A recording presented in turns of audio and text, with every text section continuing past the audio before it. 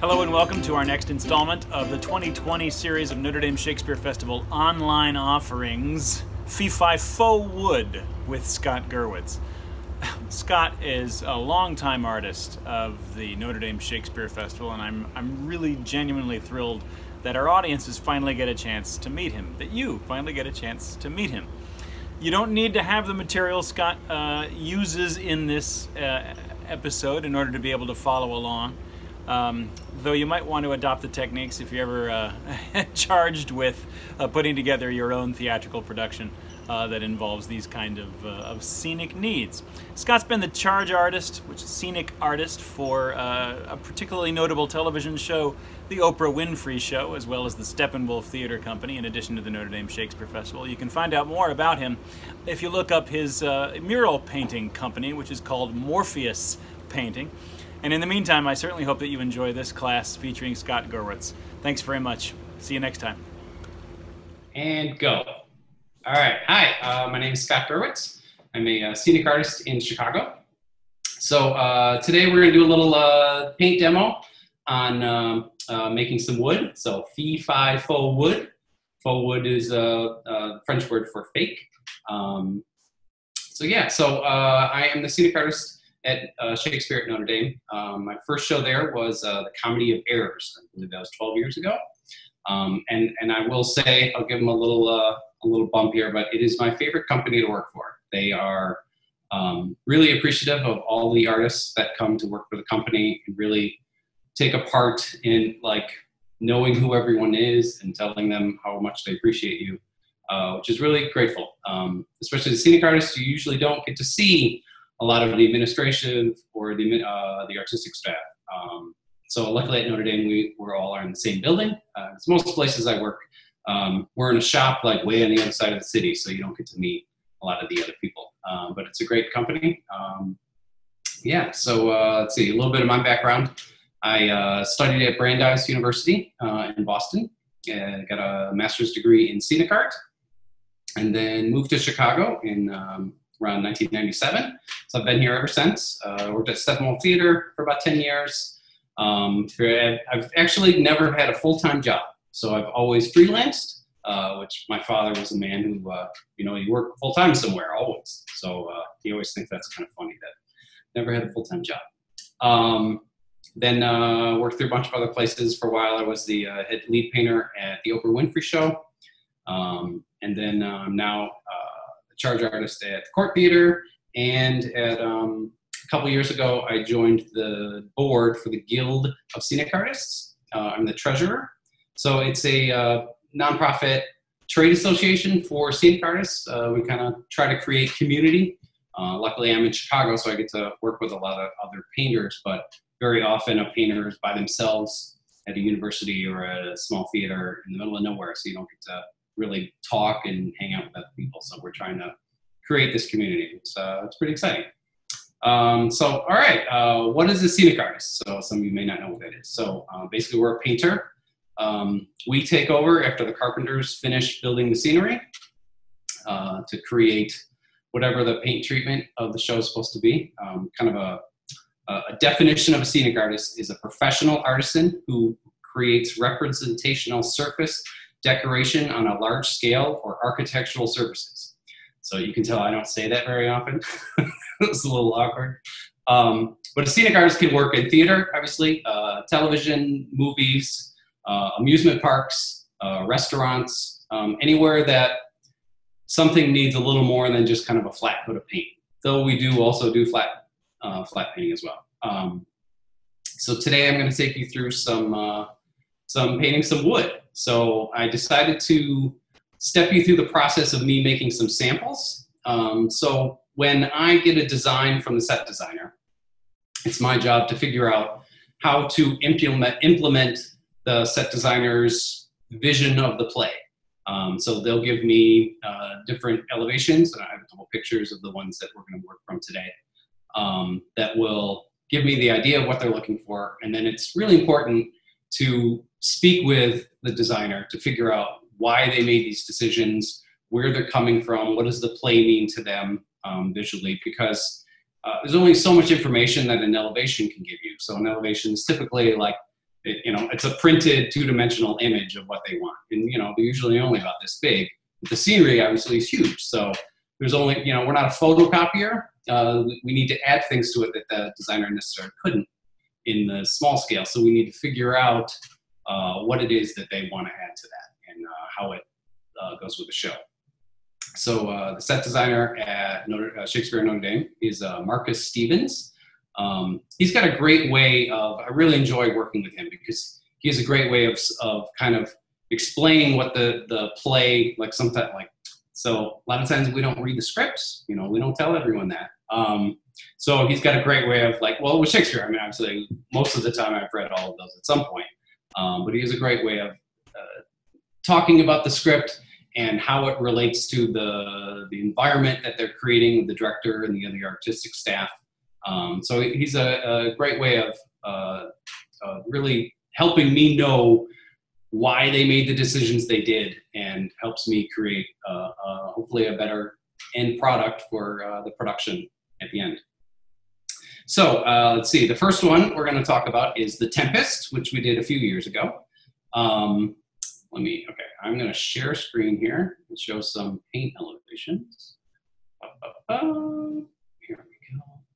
And sharing. Okay, play from start. Here we go. Okay, so this is a model piece for um, the boat that was on stage. It was enormous. Uh, actors could, uh, characters could walk on top of it. They could walk in through that little hole. Um, so it's the idea of the Tempest, the boat gets beached on on this little island that you know no one really knows what this is. Um, so it's it's been there for a long time. It's old, it's aged, it's distressed. Here we go. Here's uh, the full model. Um, so the floor was painted kind of a this kind of like topography of like water and beach, and uh, that was really fun to paint. Uh, let's see. And then here's some production photos. Uh, as you can see how large that boat is now that you get some actors on there. Um, and then uh, another close up there. So this is the first demo we're gonna do. And then I'm gonna show the second demo is gonna be what we were going to paint this summer, uh, Midsummer Night's Dream.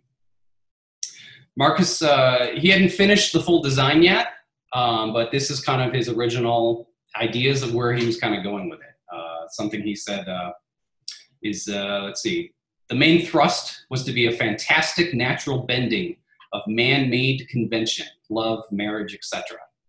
I sort of landed on a softer boho chic wedding look, garland, soft worn wood, bulbs, and then in this next one, this is an interesting idea for a floor. Uh, the gym floor is an attempt to see how nature bends the journey of humans.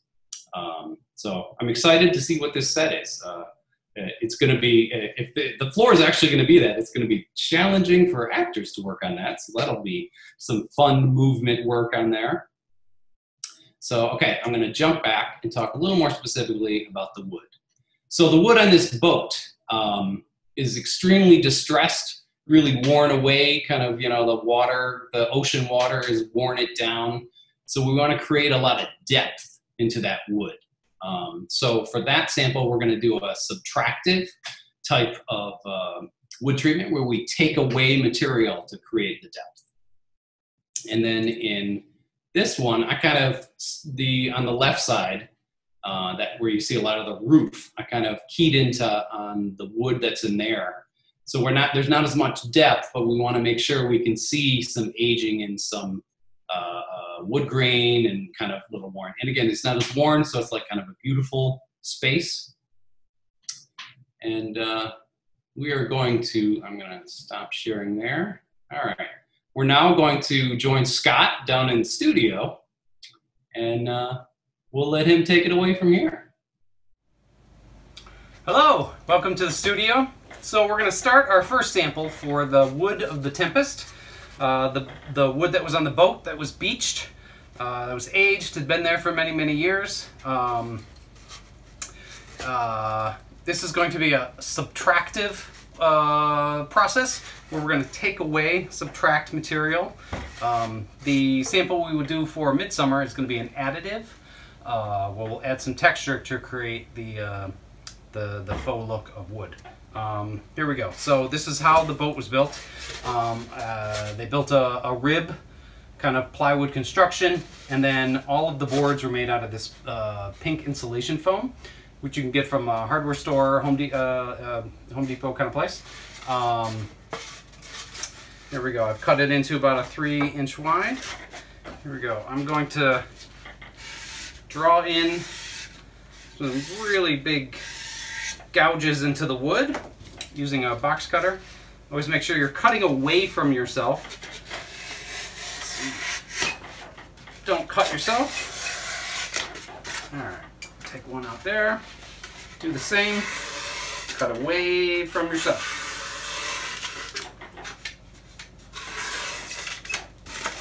All right, perfect. Okay, now I'm gonna use a wire brush to basically just dig into this foam. Um, it's pretty messy, so I'm gonna put my PPE, now that everyone knows that it knows what that is, personal protective equipment, my mask, that goes along great with my COVID hairstyle. All right, here we go.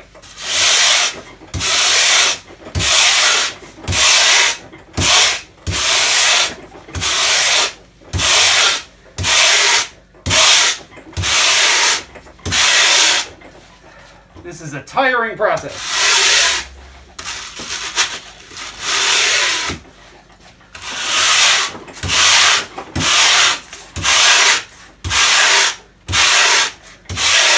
It is a lot of work, but it's totally worth it. The amount of depth you get in it.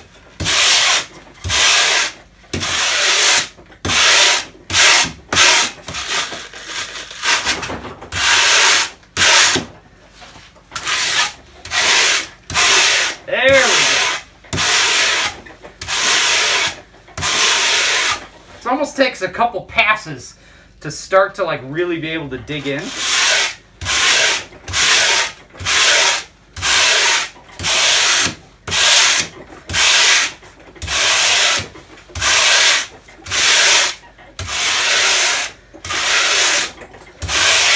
think we're almost there.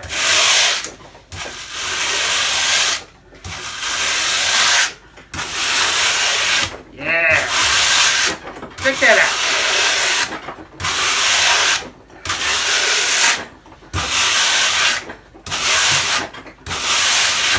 All right. I think we're there.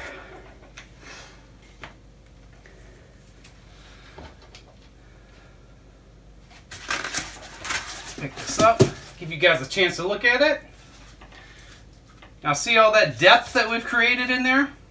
While it is it extremely a lot of labor to do this, um, totally pays off in the end. Um, the, when the lighting casts around it, let's see if you can see some of the shadows that happen in there.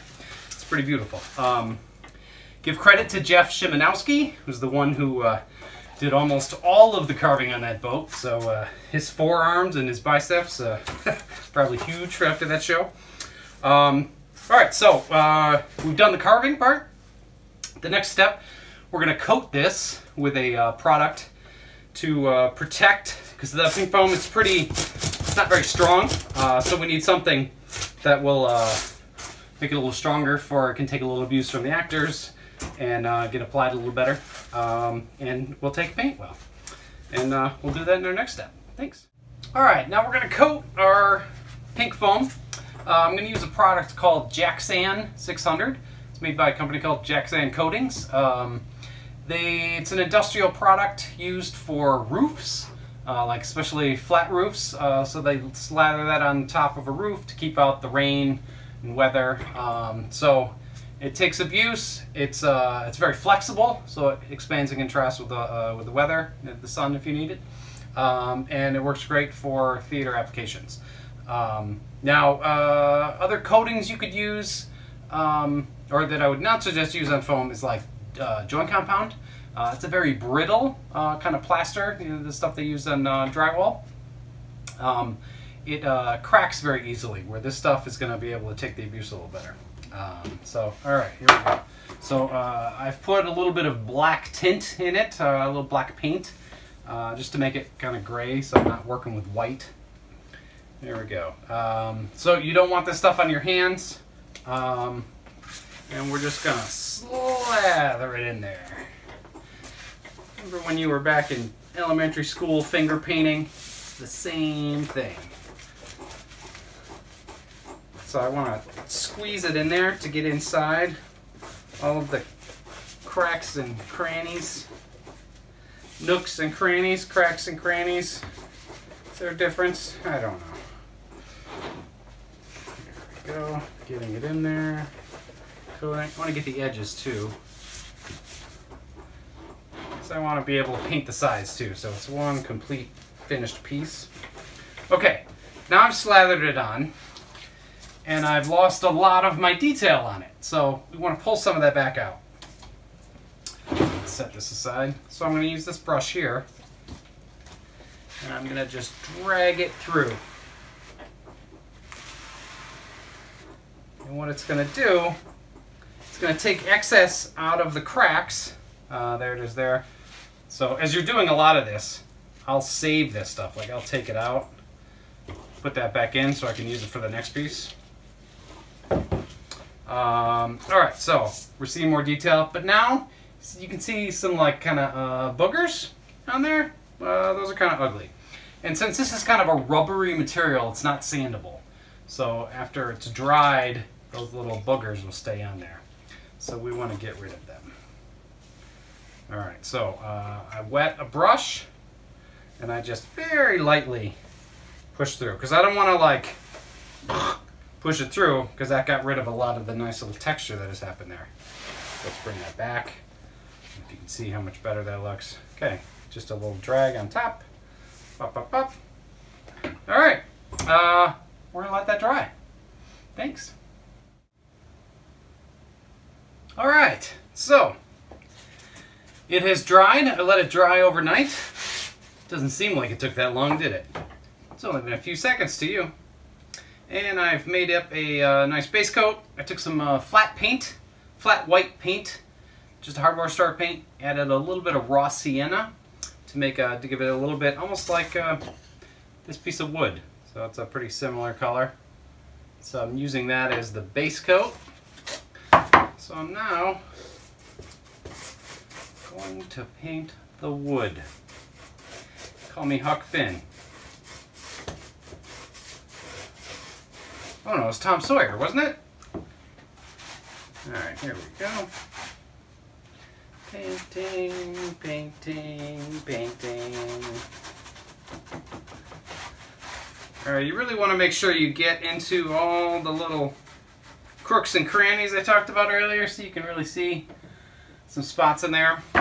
Uh, here's an interesting term. So all those little kind of gray spots you can see in there, those are called holidays when a painter is working, another painter may say to him, uh, uh, watch your holidays. It's an old term for uh, the painter wasn't paying attention to their job, they were thinking about their holiday. So, cheesy little term, but it's useful.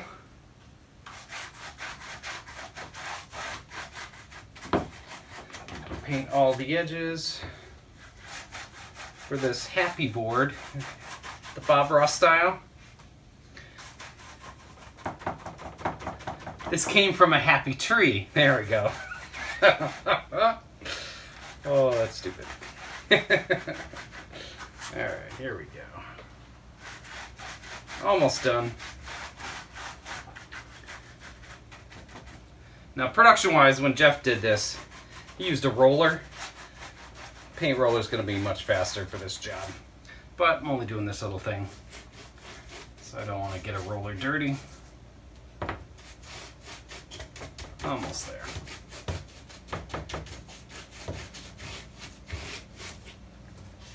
All right, beautiful. Checking for my holidays.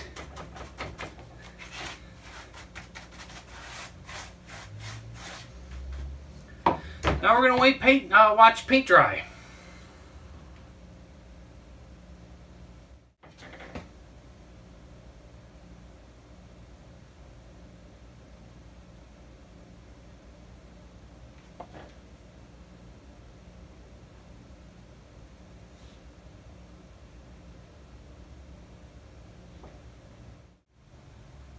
All right.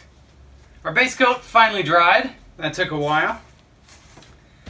So I have mixed up three colors. They're gonna start to give me the idea of the, the wood of the boat. We have kind of a, a burnt umber kind of color, a raw sienna-ish, and then a raw umber. So this raw sienna has a little bit of white paint in it. And white paint tends to get a little chalky if you're glazing it with other colors. Like if I was to add white to this burnt umber, it would start to turn into a pink color, and we want to stay away from that. So what I'm going to do is I want some of this kind of this warmth sienna color to be underneath kind of like the, the, the depth of the wood. So I'm going to do a first pass of that raw sienna. Okay, I got a little uh, spray mister. Add some water there. Got a little container water. Don't need these here. I'm just going to use my raw sienna color.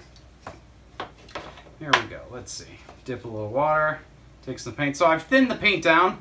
You can probably see how easily it's dripping down there. So it's pretty thin. Put a little bit, uh, I like working on trays because it releases too much paint that's in the bristles. And I'm going to keep this paint in the center area of this wood. So I want the edges of it uh, in the end to get pretty dark. So now I'm going to come back with a bigger brush just with some water and glaze it through. Kind of even it out, make sure I get into the holidays.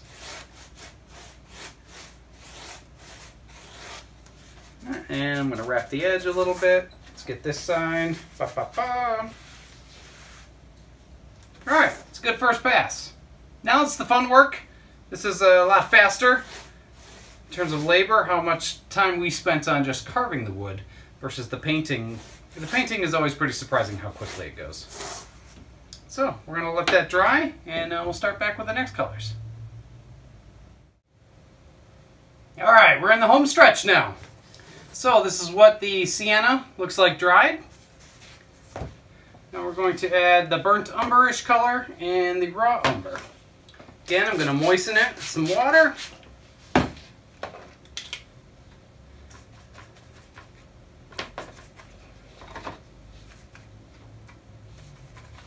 This feels a little thick. I'm to thin it down. All right, here we go. Glazy, glazy. let's see if I can do this so you can see it a little better. this way. Okay, I've got that. Now I'm treating this raw umber as a much darker color. So it's gonna get, give a little shaping to the board. A little more on there. There we go. Get the edges.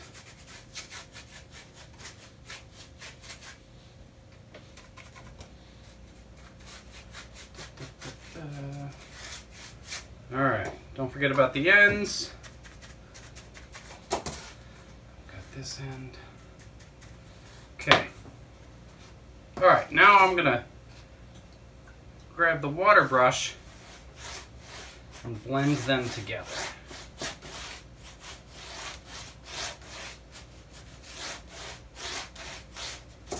Uh, what do we think of that? That looks a little It's a little strong on the edges, so I'm going to wipe some off. So it's not so dark there. Set that aside. I'm going to add more water to thin the paint out. You know what? I want some more burnt umber in the middle there.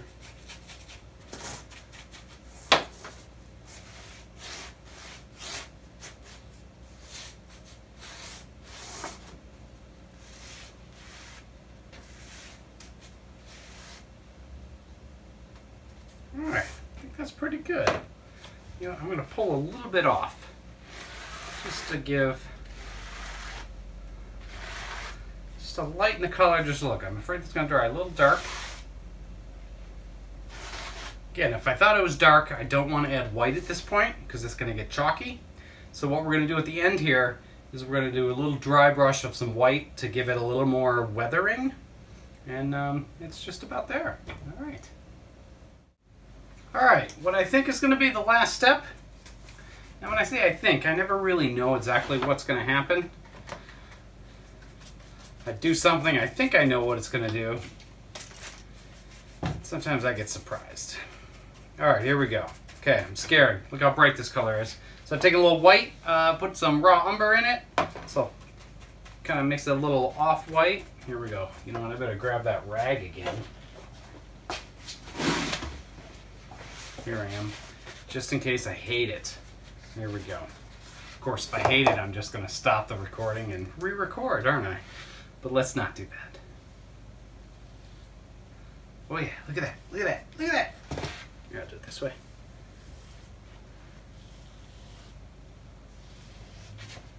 There. How's that? That's pretty good. Get the edges. Let's not forget about the edges. Tone this off stage side. Up, up, up. Yeah, yeah. Alright, I think that's good. Alright, I didn't have to re-record the video. That's awesome.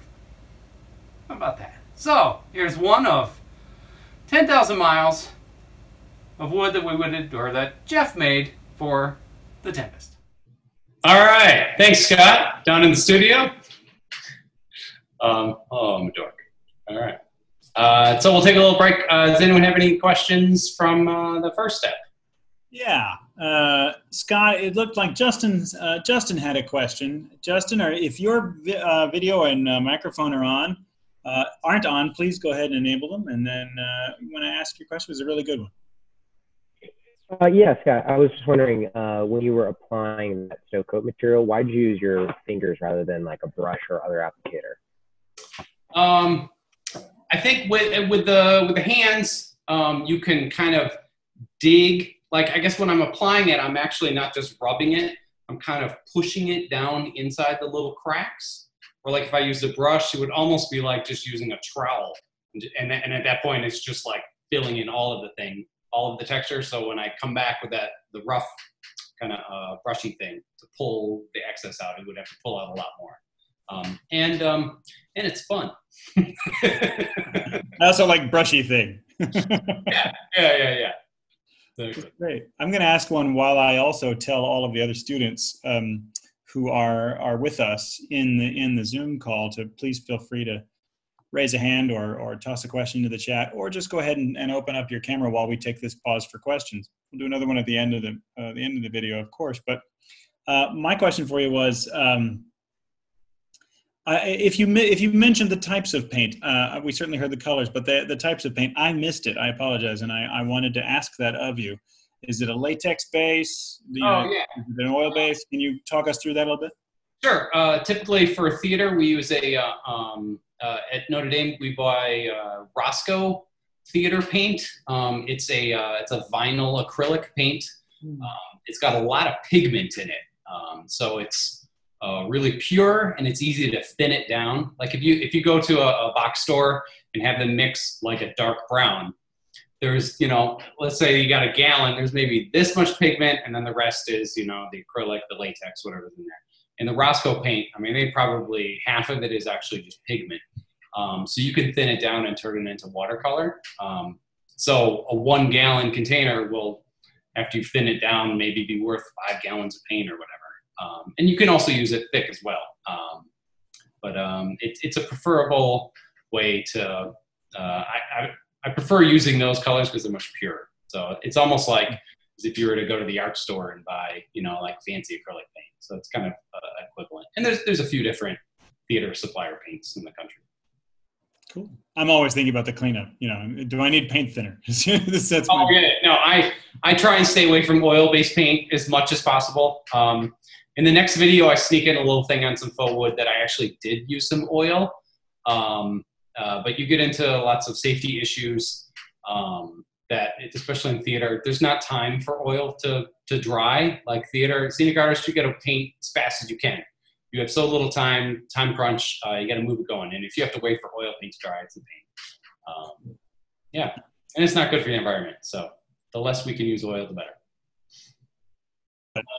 that was a nifty segue, but I think we have time for one more real quick. I've got a question from Max. Stern, Okay. want to hop on and ask your question, Max?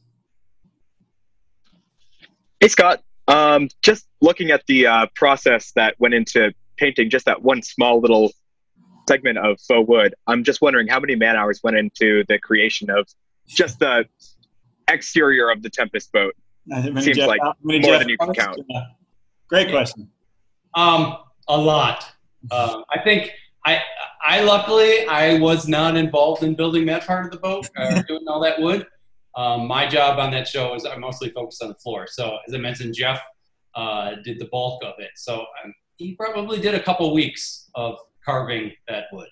Yeah, Um, and the, the team helping him, Jeff leading the process and doing a lot, certainly lion's share. Um, but uh, Jeff is typically with us each summer for anywhere from a month to a month and a half. So uh, that was that was a that was a fun task. Also, uh, Scott, and you might touch on this because the board's bent, and not just you know in one way to show the curvature of the boat, but it was down toward you know in two directions because of course you were we were we were going toward the prow of the boat yeah, boat building.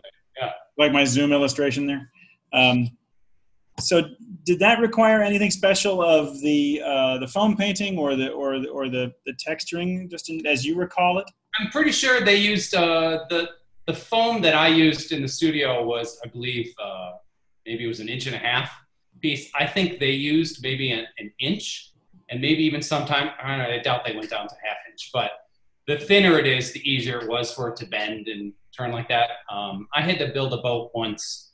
Uh, my wife is a public artist, so I always get kind of involved to help. She says she marries me to paint her work. Uh, because she's a sculptor I'm the painter. I should paint her stuff for her. Um, so I helped her build a boat one time, and we were building it out of like Luan boards. And boy, to get that that curve to go like that and then back down, oh, it was, I think we ended up like cutting chamfers in it. Yeah, it was a pain, but so uh, the foam gives you the ability to to wrap it around and down under. Cool. Well, there was a nice segue there into faux wood on uh, on a midsummer anticipation des- uh, of the of the design, and so uh, I think we'll go ahead and shift to that next. And All folks, please do keep track of your questions as we're going, and I can uh, highlight you and, and ask you to, to pose them of uh, of Scott here uh, on the other side. All right, awesome. We're gonna join Scott back down in the studio. We're now going to work on the samples for Midsummer Night's Dream, the show that unfortunately we're not doing this summer. Uh, we'll do next summer. The designer Stephen Marcus, uh, Marcus Stevens, sorry, uh, had not totally finished his design, but I showed you some pictures of some of his research images of where he was thinking of going with the set. So there's going to be a bunch of wood planks throughout the uh, scenery somewhere, kind of aged worn away, uh, but not as aged as the boat Tempest wood. So we want something that's not quite uh, distressed quite as far, but we certainly want something that's got enough texture that it'll read from a distance and give it kind of a, a nice aged patina. So uh, we will uh, use some strips of uh, plywood, or uh, this is actually called Luan. It's a quarter inch material. And uh, this is the additive process. So the product I'm going to use is called Super 88. We could use the Jaxsan that we used on the Tempest wood, but for just to kind of shake things up a little bit, we're going to use a different product. It is a food product adhesive. Uh, comes from a company called Abbott Adhesives uh, in Chicago. It's actually used to glue like cereal box lids. That's the glue for it. So again, uh, just like Jaxsan, it's very rubbery, holds up really well. Um, it's a bit more expensive than the Jaxsan, but it's a little thinner. Uh, has a little bit of grit or aggregate inside of it. This is completely smooth, so you could thin it out really thin if you really want. We're going to use it right out of the bucket. The tools we're going to use are some some uh, wood grainer wood grainer tools. I have a bunch of different kinds here, and each one of these little details that's on there is going to give you a different type of wood, so we'll play with those. And this is another kind, which will give you more of a straight grain. So that's one thing when you're doing uh, faux wood, you don't want everything to have wood, uh, the hard grains.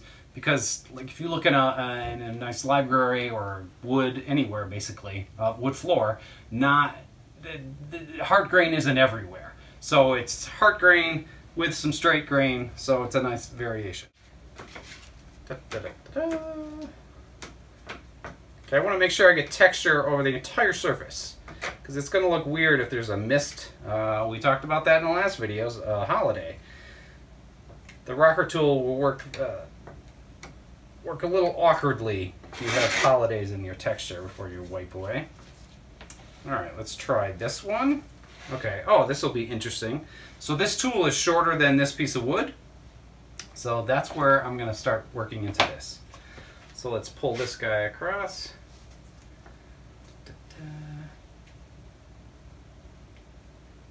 Ah, that one's nice. All right. Now, as you can see there, and I'll turn it so the lighting can give you a shot of it there. So my rocker tool was not as wide as the wood here. So this tool's got nice variation. So it starts with, it's got a little big teeth over here, works this way to small, big teeth works this way to small. So the, the space in between the wood grain here on the end there is pretty wide. So I'm going to take one of the wide ones pull that through. Look at that. Look at that. Nice. All right. And then this one I'm just going to do only the straight grain. So I'm going to follow what I say. Don't hard grain everything. Now you're going to want to hard grain everything because it's so cool. But in the end it won't look right. It'll look too busy. The material I took out here was a little wet. There we go. Okay, I'm going to remove some of that. Now let's start this way. I'm going to start with this side. Pulling away. Okay, now look how much material that took away. Again, like I talked earlier, save that material. Okay, so we started with a pull, the, the large teeth over here, and it works this way to small. So when I do a second pass here, I don't want to use a big tooth again, because here, I'll do this. Ba, ba, ba. See, it looks weird. That's not how wood works. So a nice thing about this material, it's got a long dry time. So I can press that back down.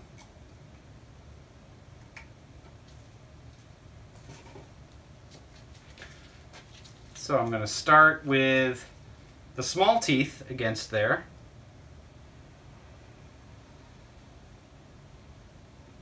Boom! Nice straight grain. This texture is similar to Jaxsan. It is not sandable. So I am going to clean off the edges here. Great. Uh, this stuff does take a while to dry, so we will come back after that dries. Thanks. We're going to do one extra sample here that has nothing to do with either the Tempest or Midsummer. Uh, when I was doing the rocker tool on here with the texture, I had a feeling that it was probably a little difficult to see it through the camera. So I decided we're going to do a little extra wood finish one. So I based it, this is going to be kind of a strong mahogany color. Based it this nice strong orange. This paint's a lot thicker than what I was using on the wood for the Tempest. There we go. So hopefully be able to see this really well. Oh yeah, look at that. Look at that. That looks awesome. All right. Yeah, I'll lean up a little bit here. Now we talked about the size of the teeth over here. I'm going to go with the bigger teeth on the end.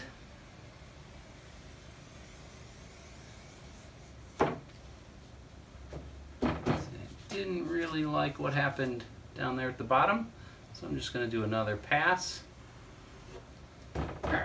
Good. And I'm going to flip it. Okay, so I don't really like that, but I know when I remove again, it's going to kind of hide it.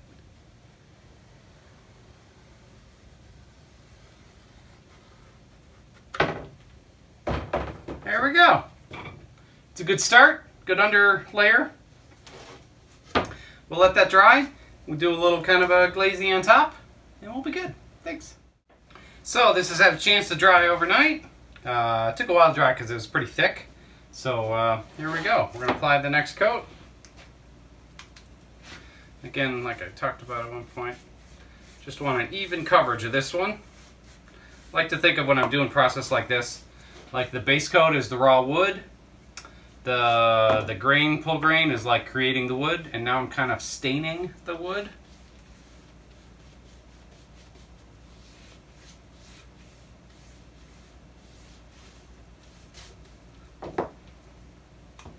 It's a pretty strong under layer, so I'm gonna make it a little darker of a wood, a little heavier.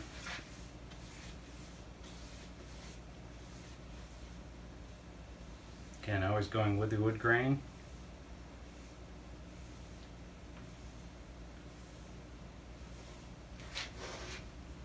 There we go. I think that's good, right? Yeah.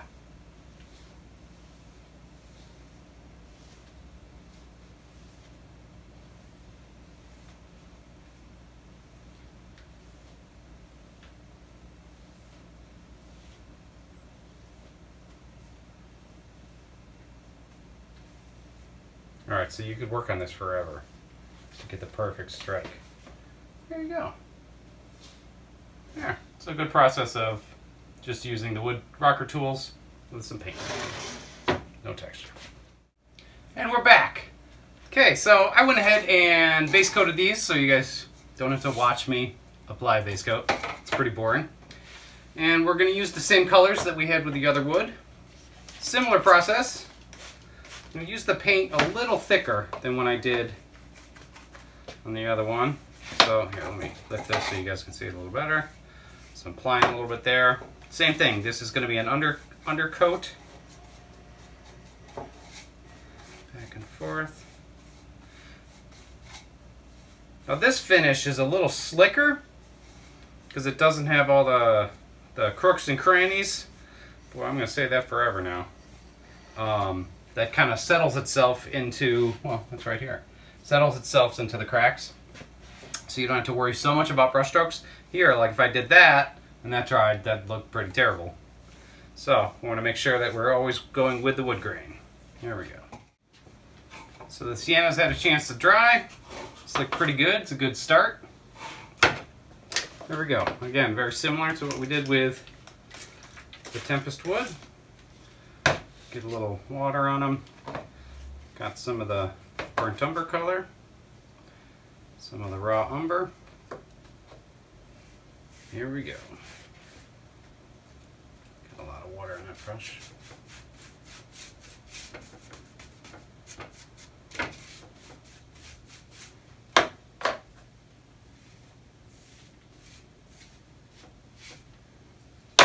In the umber to get a little shaping, or the raw umber color. This is my darker value.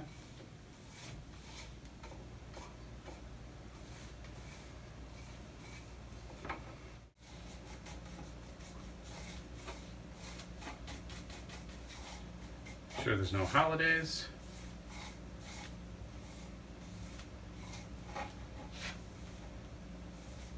All right, yeah, this look great. Oh, I got a in that. All right, and then our next step is going to be a little white dry brush, like we did here, but um, a lot lighter because this is a, a not quite as aged as we talked about with that wood. Let's let that dry. This glaze coat is finally dried. Feels good. All right, we're gonna do uh, the same white with a little raw umber. Okay, it's drastic. I'm nervous again. Actually, you know what? I'm gonna take even a little bit more off this. Because if I went too heavy with that, it wasn't a big deal because it's pretty aged wood. This one is much more delicate of a wood. So here we go. Let's try not and mess this up. Oh yeah, yeah, yeah. See, it's catching just the tops of the texture there. So when I'm dry brushing, I'm actually using kind of this part of the brush. I'm not using the tips. I'm using right in there. Because if I'm just using the tips, see if we can see it on the back. Well, of course you can't see it at all. So here, I'll do it on one of the other ones.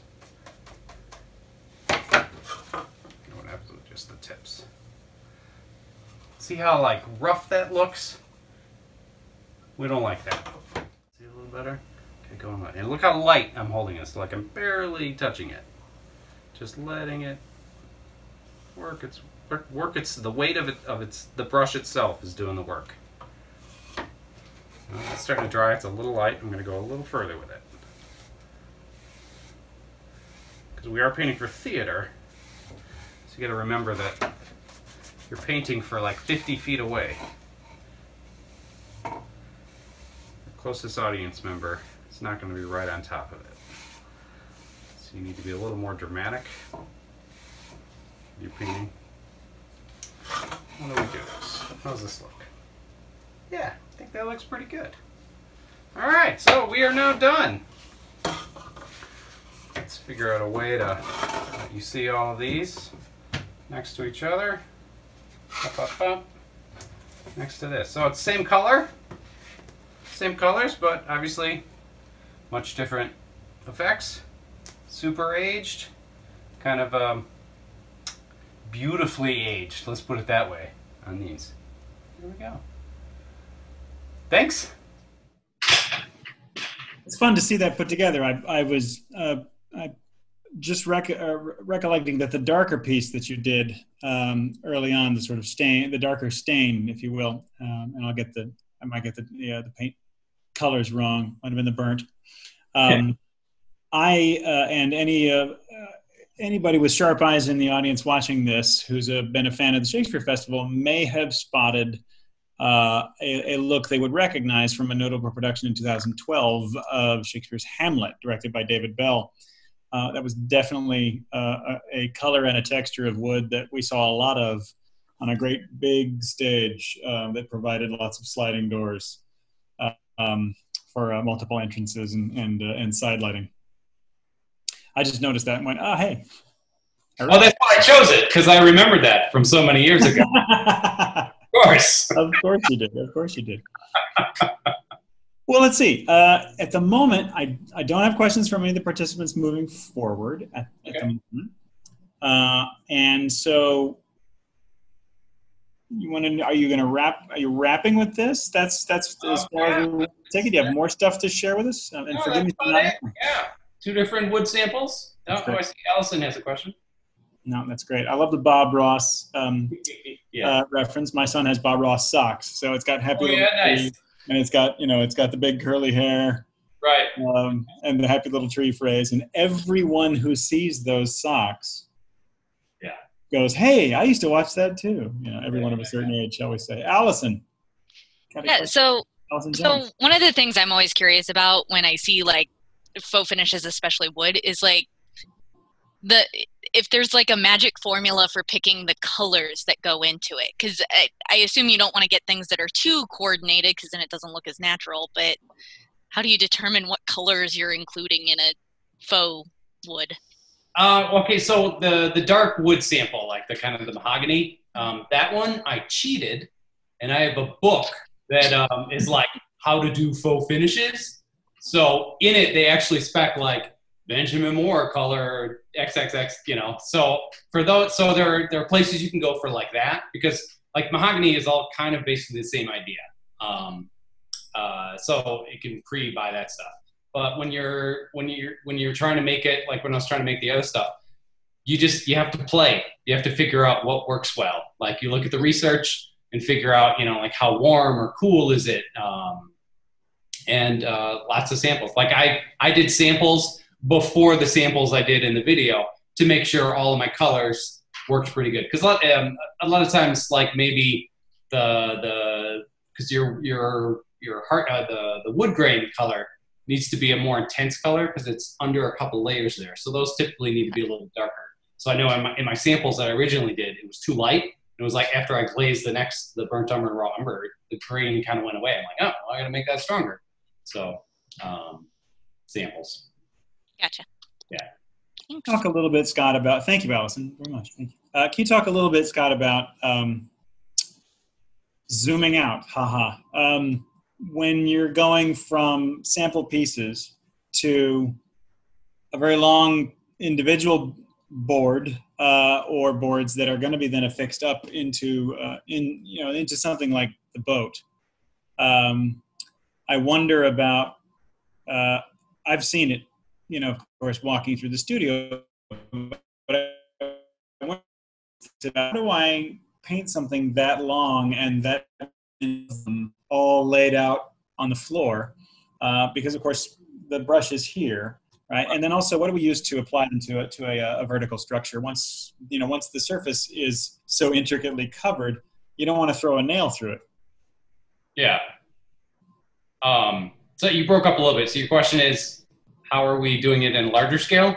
Yeah, in other words, literally, what's it like in the studio uh, in order to uh, execute those larger pieces? Um, and any kind of way you want to you Sure. in, interpret that question. Um, and then what what do we use to get it up on the surface? Um, so one thing to think of when I talked about uh, scenic artists need to work fast. So you're always trying to figure out what is the. I always joke that I'm lazy. I always want to find the easiest way to do the job. Um, so in a case like that, when we were painting all the boards for the boat, we just laid them all out on the floor. We got big brushes, like they sell brushes, like you know you see in the hardware store, they're like little three inch brushes. We have like six inch brushes, eight inch brushes. You put those on an extension pole or a, a bamboo stick, um, and uh, yeah, you get a big Hudson sprayer, like a garden sprayer. Instead of a little mister, it, it'll spray a lot of the water. Uh, you got little carry trays you can carry around stage with all your colors, um, and you just you work. And, and also when you like, especially with those boards, you can eat. You can have like two people working on each board. So if the board's like ten feet long, let's say, you can each start from one side and work your way to the center. So it's going to uh, work you a little faster. Um, as far as applying this stuff, um, that that was I don't remember exactly how they did that. It was I know it, there was like uh, like a what do you call it liquid liquid nails um, would go on. So they they built this plywood structure of the boat, so it had like all these little you know each each four feet it was another layer of ribbing. I guess that's what they're called. Yep. Um, and I'm not quite sure because I wasn't there when they actually installed it, but I imagine they needed something more than just the glue, especially when you got to start pointing it down. So I bet you they still use screws. I bet you they were screws in there because we have the benefit of it being theater. It's 50 feet away and it's so aged and there's so much texture going on that no one's really going to notice those screws. You think that that screw is going to be easier to get through it, say, than a staple gun uh, on a Yeah, the problem, the problem with the staple gun, because the pink foam is so not strong, like it's just like cushy, uh, the staple's just going to go like right through it. Yeah. so it could pop itself out. Where the the um, the screw is a little wider. They may actually have even like uh, use uh, washers on the screw to make it just a little bigger. And uh, That that does sound familiar. I do recall some combination of, of liquid adhesive and and Yeah. structural. So that's that's pretty cool. Well, hey, uh, Scott Gerwitz, thank you very much for doing this. Um, we have one more question. Incredible, in, incredible production staff that the audience doesn't just doesn't get a chance to meet. Yeah. Um, and you know, if there's the hashtag silver linings um, is uh, is getting pretty popular out there uh, in in, uh, in social media, and this is certainly this is certainly one of them. Is pointing out an opportunity to get to know some of those folks uh, that have been with us for uh, you know a, a, a big chunk of years, um, because of course you started so young, and um, I think that's really really cool. It's uh, so I, we'll see if we can't keep a feature like this uh, you know continuing even when we are already through the forest. Uh, you know. That's the the theme that we chose for this season did not we didn't intend for it to be quite so prophetic. And i noticed that you're in front of really, really cool. So through the forest have we gone or are we going certainly.